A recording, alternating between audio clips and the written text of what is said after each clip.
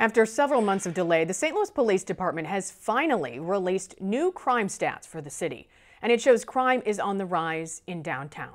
Our Robert Townsend joins us live from police headquarters with a look at these numbers. Robert? Well, city and police officials and say cracking down on crime is one of their top priorities. Now, the crime stats you're about to see clearly show why.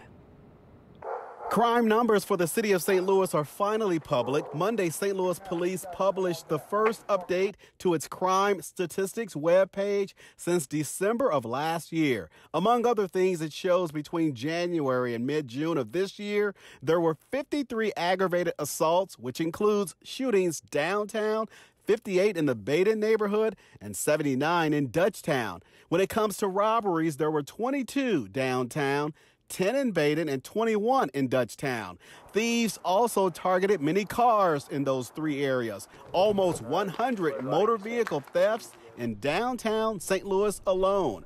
George Barnes moved downtown seven months ago. Whenever you move into a neighborhood, you want to be safe. Police say homicides spiked in early 2021 compared to previous years, but we're told the city has seen fewer killings with 92 to date compared to 99 a year ago this time.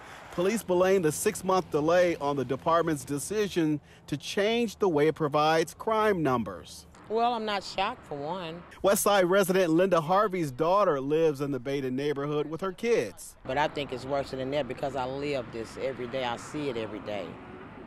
It's just so bad. We need to assure that um, our law enforcement have all the resources they need. The Board of Aldermen's president also thinks now that St. Louis will play a major role in President Biden's new crime fighting plan, the city will crack down on crime. Along with the package that the mayor has brought over to us, is also augmenting that to assure that we do have funding in place to assure that the streets of the city of St. Louis are safe.